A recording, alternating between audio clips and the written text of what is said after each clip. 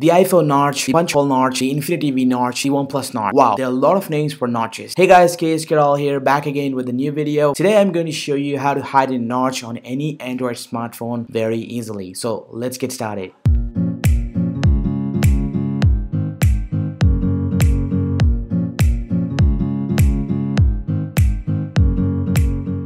When Apple had released the iPhone 10 with a notch display and the entire smartphone world was shocked by their innovation in mobile tech industry. This took a huge leap in smartphone world. Manufacturers like Xiaomi, OnePlus, Asus, Oppo are following this trend. Today we are seeing every Android smartphone is being shipped with their notch. While some people are fancy about notch displays and some aren't. Personally, I like having a notch on my phone and it looks beautiful while holding in hand.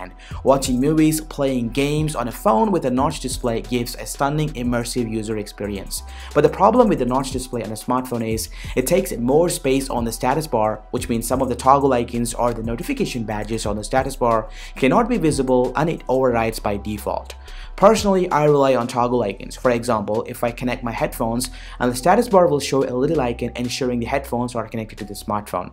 Well, these problems can only be faced with the wider and taller notch displays. Thanks to the OEMs like OnePlus, Xiaomi, and Samsung figured out this issue and included a tiny notch on their current smartphones. With a tiny notch, it will be easier for the user to see a toggle icons or notification badges on the status bar. But what about the people who completely hates the notch? Well, unlike Apple, Android manufacturers did an amazing job by including a hide notch option inside settings. For example, in Oxygen OS, inside the display settings, you will see there is an option called hide notch. When you enable it, the OS hides the notch area, but it only works for the applications, not the entire system UI.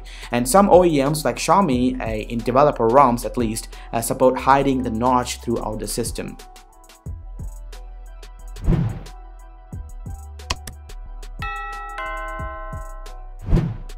If your manufacturer haven't provided the hide notch option inside settings, then you need to rely on the third-party software like Hide Notch, and you can download it from the Google Play Store for free. Once you have downloaded this application, open the notification center, and here you need to add to the Hide Notch option to the quick tiles menu first, and then you have to access it later Again, it only works for the applications, not the entire system. Thanks to the Google in Android 9.0 Pie, they have included an option called a Simulate Display Cutout. All you need to do is go to Settings, About System, tap on build number for 7 times. Now inside the developer options, you will see an option called a Simulate Display Cutout. This is a very powerful setting. From here, when you hide the notch, it will be applied to the entire system. You can see the status bar area is shrinked below the notch.